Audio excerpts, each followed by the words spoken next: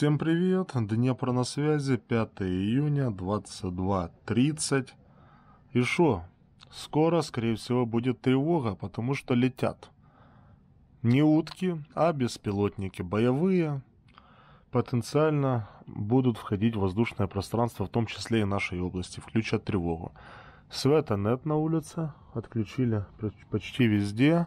С чем это связано? Сказали аварийные отключения почти по всей стране, превышены лимиты.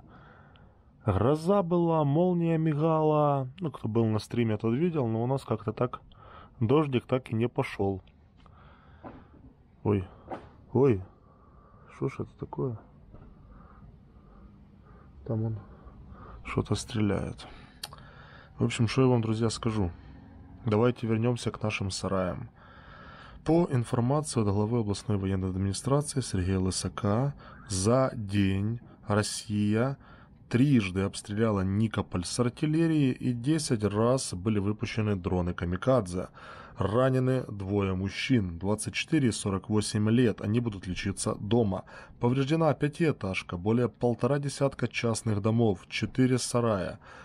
Разбитый погрузчик, автобус, несколько автомобилей, два легковых автомобиля загорелись, смогли их погасить.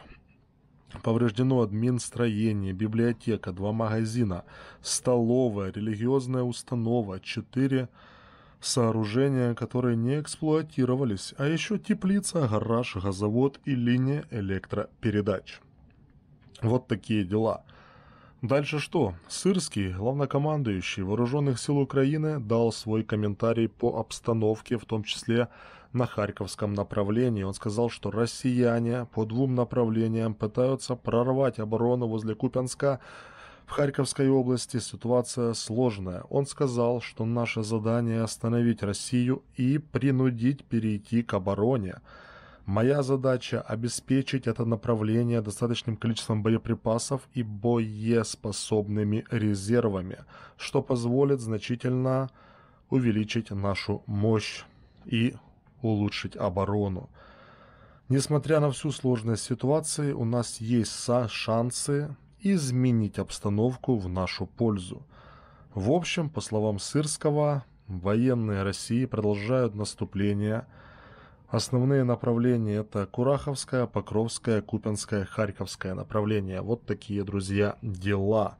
Что еще? Сегодня выступал министр обороны Германии Писториус и сказал, что мы должны быть готовы в 2029 году воевать с Россией.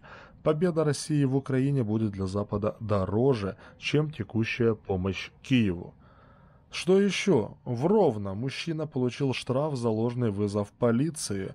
Он считал, что крышка консервной банки – бомба, которая взорвется в любой момент. И украинские СМИ цитируют Путина – мы имеем право поставлять оружие в регионы, откуда будут наноситься удары по чувствительным объектам стран, поставляющих оружие Украине, сказал Путин. Удары по РФ при участии стран Запада означают их прямую войну против России. Москва будет реагировать.